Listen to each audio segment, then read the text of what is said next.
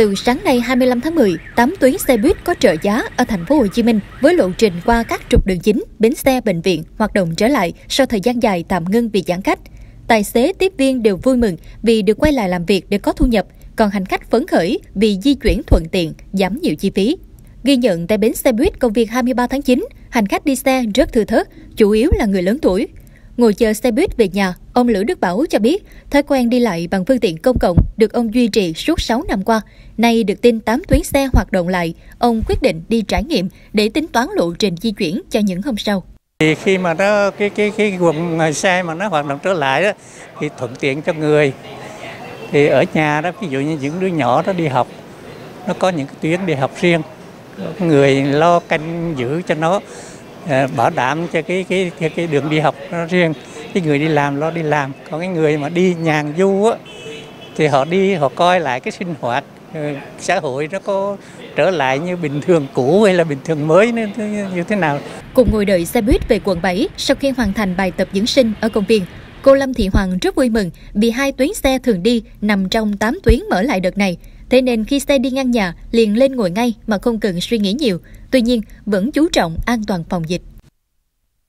Bữa nay lần đầu tiên cô leo lên xe buýt, cô đi thử chứ cô mỗi ngày cô hay đi tập thể dục ở trên Lê Thị Riêng á. Nay cô đi thử, cô đi cái tuyến xe buýt làm sao. Bình thường á, đi từ bên ờ, chỗ nhà cô là Quỳnh Tấn Phát mà lên tới đây cũng lên tới ờ, chỗ tập Lê Thị Riêng 70 ngàn. Mà có xe buýt có 6 ngàn, có xe buýt lại cô mừng lắm. Hạnh phúc hơn cả chính là chị Nguyễn Thị Tám, tiếp viên trên xe buýt số 65 đi An Sương cùng anh Bùi Minh Thạch, tài xế. Niềm mong mỏi được đi làm trở lại sau nhiều ngày ngừng việc vì dịch bệnh nay đã thành hiện thực. Đặt tinh thần phòng dịch lên cao nhất song song với việc phục vụ hành khách. Ngoài việc giảm lượng khách chở xuống còn 50%, việc vệ sinh khử khuẩn trên xe được thực hiện kỹ lưỡng từng chi tiết. Thì à, khách vừa bước lên cửa thì mình à, cầm chai xịt khuẩn mình xịt khuẩn cho khách rồi à, đến khi khách xuống thì mình cũng à, dìu dắt cho khách xuống thì mình cũng xịt khuẩn cho tay mình cho sạch sẽ vệ sinh dịch khuẩn Ờ, trong lúc mà khách vừa xuống hết tới bến thì mình phải cầm tay khuẩn mình xịt hết xe. Xịt từ trước lại sau. À, chở 50 người đi mà mình chở khoảng chừng hai chục người cũng như giảm cái lượng khách nó mất rồi.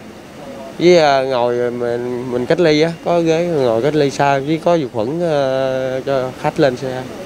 Nói chung là có mấy cái dàn gắn bảo vệ cho, cho tài xế nói chung là cũng an toàn để đảm bảo an toàn, toàn bộ tài xế, tiếp viên và nhân viên phục vụ tại các bến xe buýt đều đã chích hai mũi vaccine xét nghiệm COVID-19 ba ngày một lần.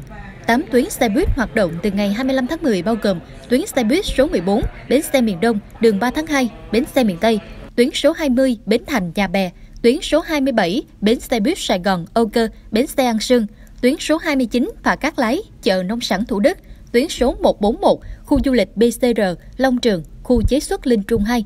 Năm tuyến này hoạt động với số chuyến 60 chuyến một ngày. Các tuyến xe buýt số 65 Bến Thành, Cách mạng tháng 8, Bến xe An Sương, tuyến số 74 Bến xe An Sương, Bến xe Củ Chi, tuyến số 79 Bến xe Củ Chi, đền Bến Dược sẽ hoạt động với số chuyến 54 chuyến một ngày. Thời gian phục vụ từ 5 giờ đến 18 giờ, Riêng tuyến 74, thời gian hoạt động tại bến xe Củ Chi từ 4 giờ 30 đến 17 giờ 30 và bến xe An Sương từ 5 giờ 30 đến 18 giờ 30.